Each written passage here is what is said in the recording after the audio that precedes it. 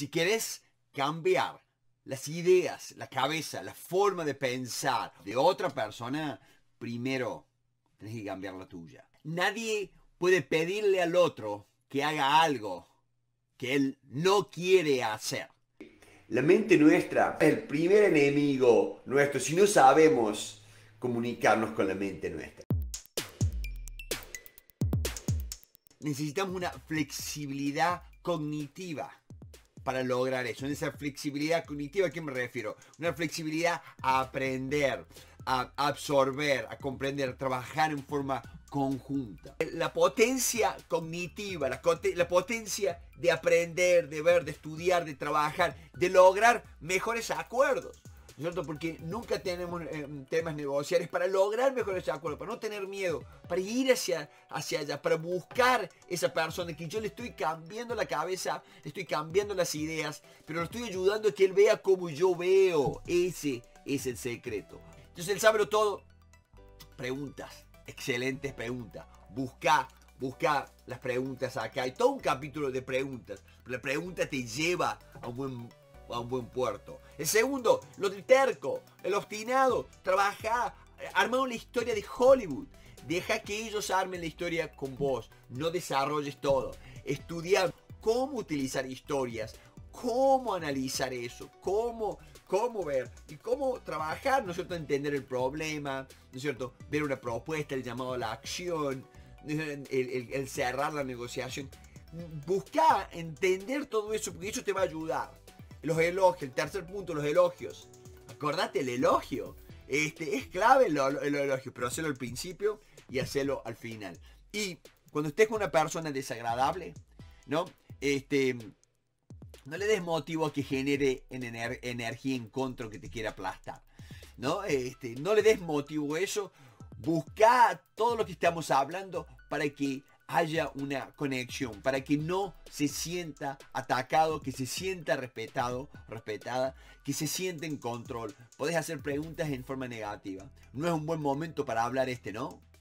Entonces eh, la persona dice, no, sí, sí, sí puedo. ¿no? Dale esa posibilidad, porque él sabe que vos querés hablar, pero vos le estás dando el no como un hecho. Entonces eso lo ayuda a él a sentirse en control. En mi libro este, tenés muchas más ideas y, desarrollo de todo ese tipo de cosas. Como, como dar la sensación de control a alguien para que no levante ¿no es cierto? La, la, defensa y que la negociación no se nos vaya de las manos. Mucha gente cree que uno puede ir y pedirle al otro, hace esto, hace lo otro, pero yo no estoy para nada dispuesto a hacer, ni siquiera sé hacerlo, ni siquiera sé por qué lo estoy pidiendo no tengo autoridad. Y esto hay que solucionarlo. Porque un ejemplo clave de esto es el mundo. Lo que nos está pasando con este mundo. Se está pronosticando que para el 2050 ya hayamos ya destruido el mundo. ¿Por qué? Porque lo estamos contaminando tanto. No importa quién contamina más. Lo importante es que empecemos. Que empecemos a trabajar, que empecemos a ver cómo, qué es lo que yo puedo hacer para que mejore. ¿No? ¿Qué es lo que yo puedo hacer? Primero, tratar de comprender el problema. ¿Cuál es el problema acá? La necesidad, ¿no que necesitamos un planeta. Y el problema es que lo estamos destruyendo. ¿Y cuál es el dolor? Entonces hay que darse cuenta que el comprender que la etapa número uno en toda negociación es clara. Que estamos errándole acá. Estamos tratando de que el otro haga algo que yo no quiero y, quiero, y no hagamos eso nos demos cuenta que la necesidad de salvar el, planeta, el problema es que lo estamos contaminando demasiado acelerado. Tenemos que desacelerarnos, tenemos que ver y cada uno de nosotros tenemos que No podemos pedirle únicamente a los políticos. No podemos pedirle al político algo que yo no estoy dispuesto a hacer.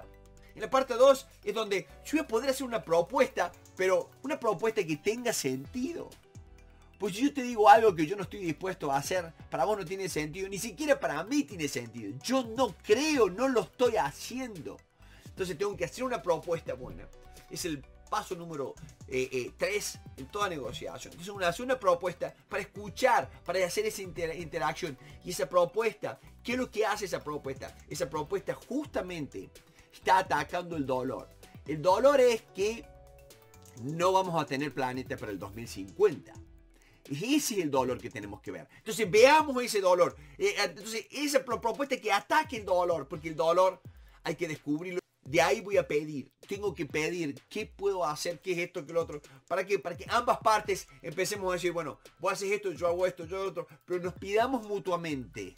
El pedir es bueno. Tenemos que aprender a pedir.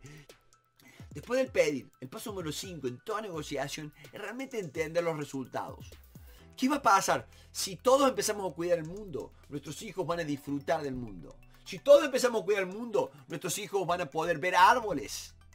¿No Van a poder ver plantas, van a poder ver animales. Estamos eliminando todas las especies. Entonces, tenemos que ver los resultados, tenemos que mostrar, tenemos que mostrarte. Yo, vos me mostrás, yo te muestro cómo la acción que estemos tomando va a generar, nos va a ayudar a ambos a lograr eso.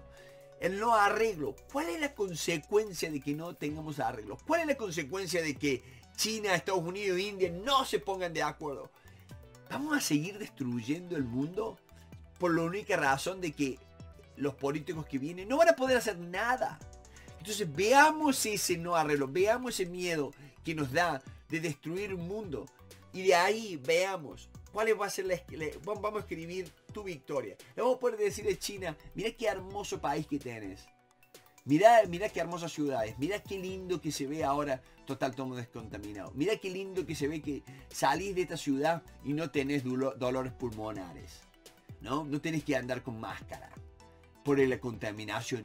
Entonces busquemos eso, pero no pidamos a alguien que haga algo que no lo está haciendo. Y el ejemplo este que nos sirve es, es, clave para que podamos mejorar como seres humanos, como negociadores, como gente que quiere vivir en una comunidad.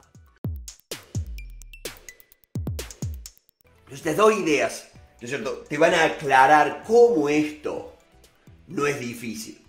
Y acá está, que tenemos dos clases de mentalidad. La mente nuestra está en dos casos. Está la mente fija y está la mente de crecimiento. Un buen negociador tiene una mentalidad de crecimiento, ¿no es cierto? Obtiene resultados más lucrativos para la otra parte y para sí mismo.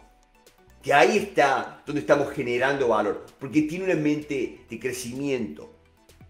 Se encuentra eh, y encuentra soluciones más creativas para ambos ¿no es cierto?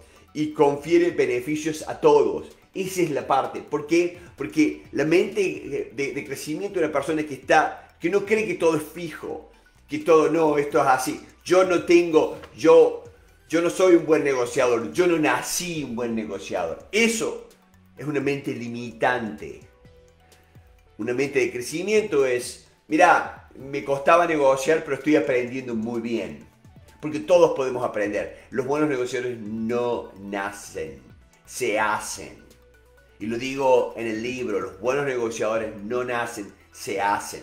Lo digo exactamente. ¿Para qué? Para que nos damos cuenta que está en el desarrollo, está en esto. Porque un buen negociador es un mejor médico.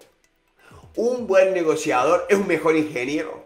Un buen negociador es un mejor empleado. Un buen negociador es un mejor líder, es un mejor ejecutivo. ¿Por qué? Porque sabe, entiende el proceso entre dos seres humanos, que es, justamente eso lo que estamos estudiando. Por eso es que en mi libro le doy tanta importancia a que el mindset nuestro tiene que estar preparado. La confianza se va a generar, ¿no es cierto? Vamos a ir trabajando, vamos a ir obteniendo más confianza a medida que vamos avanzando. Bueno, Vamos a trabajar, les mando un fuerte abrazo, suscríbanse en YouTube y los espero los martes, todos los martes, que los va a ayudar, ¿no es cierto?, a, ser mejores este, negociadores y mejores personas, eso es lo que estamos buscando.